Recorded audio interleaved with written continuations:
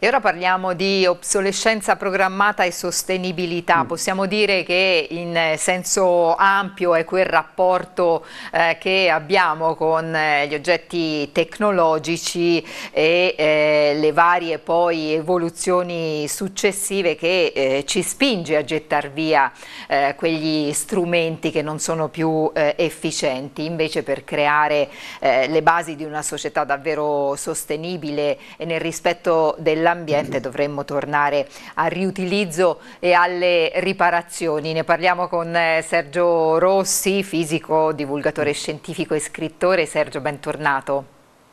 Ciao Gloria, grazie dell'invito. Perché Sergio è necessario non gettare via i nostri cellulari o gli elettrodomestici? Beh, perché i nostri cellulari, i nostri elettrodomestici sono molto preziosi, in quanto sono fatti con uh, tantissimi minerali che eh, bisogna andare a prendere in giro per il mondo. Pensa che per fare un, un iPhone, uno smartphone come quelli che usiamo tutti i giorni, c'è bisogno di minerali che vengono da 47 posti diversi e devono essere poi assemblati per, in, una, in aziende molto tecnologiche, perché sono un prodigio della tecnologia, e per poi essere assemblati e ricostruiti. Quando noi li smaltiamo, tutti questi materiali che eh, li compongono, magari perché si è rotto lo schermo, si è rotta la telecamera, si è rotto solamente una parte di questo, ma tutto il resto è a posto, va perduto. Sono i cosiddetti RAE, cioè i rifiuti tecnologici elettrodomestici piccoli, insomma, di casa, che sono invece molto preziosi, perché da questi si potrebbe ricavare eh, tantissimi materiali invece di andarli a scavare praticamente, cioè li ricaviamo da lì e, e non li andiamo a scavare. È l'idea di economia circolare che sta ritornando con, con forza, con una forza benefica negli ultimi anni, proprio per eh, limitare il consumo di suolo e di risorse del nostro pianeta, per limitare lo spreco, non solo per il cibo ma anche per la tecnologia.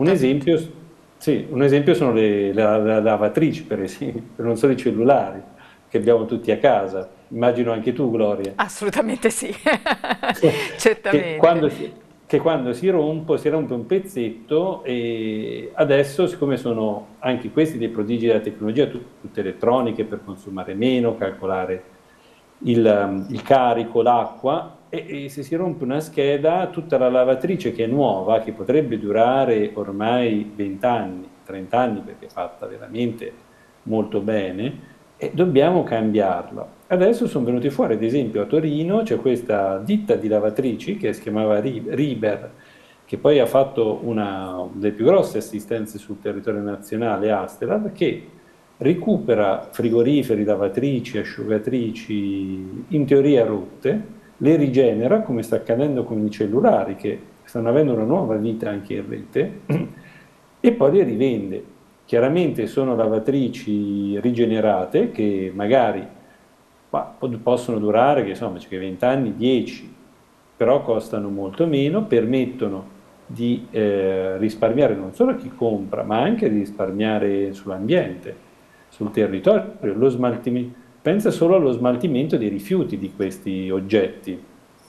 Quanto può essere ingombrante. Assolutamente. Eh, diciamo che per fortuna sembra tornare di moda il rammendo per quanto riguarda i, i, vestiti e eh, anche il riutilizzo per quanto riguarda questi oggetti.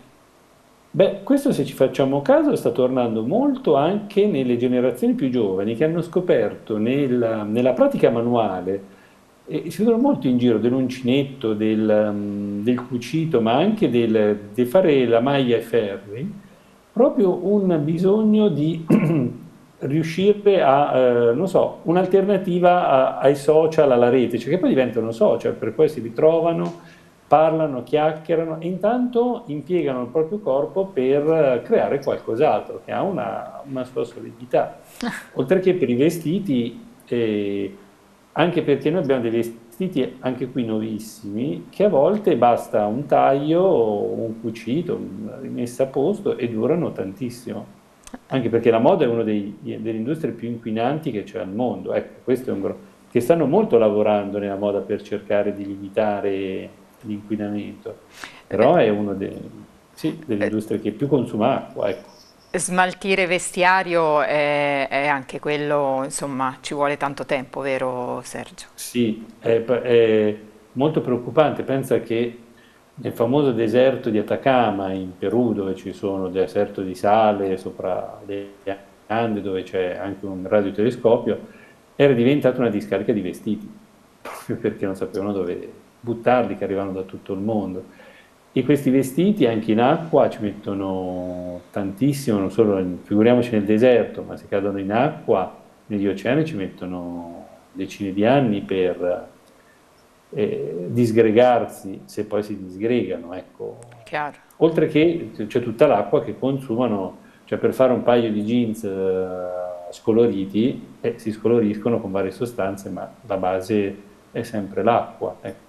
Certo. Tutte le concerie, per dire, ecco, in Toscana, siete in Toscana, credo che le concerie erano all'ordine del giorno una volta. Eh, assolutamente. Quindi eh, diciamo rammendo, riutilizzo come mm. si diceva e eh, per avere vantaggi mm. sicuramente economici ma soprattutto ambientali, Sergio.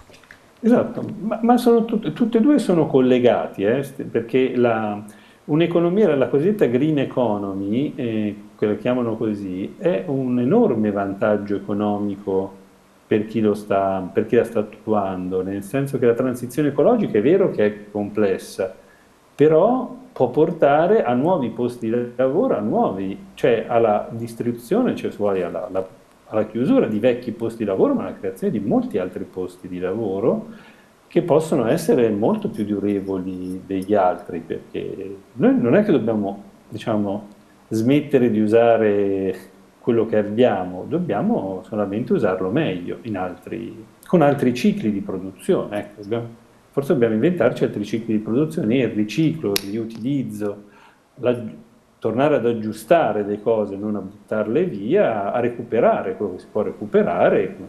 Senza dubbio. Come facciamo? Senza per dubbio. esempio, se posso dire, in Italia siamo tra i primi in Europa per la raccolta differenziata. Eh? Eh sì. Cioè non sembra, ma mh, siamo molto bravi da quel punto di vista. Esatto, esatto. Facciamoci anche un complimento quando eh, ce, lo possiamo, ce, lo possiamo, fare. Grazie a Sergio Rossi di essere stato con noi oggi. Ciao Sergio. Grazie a voi, ciao Gloria. Una brevissima pausa, torniamo tra pochissimo.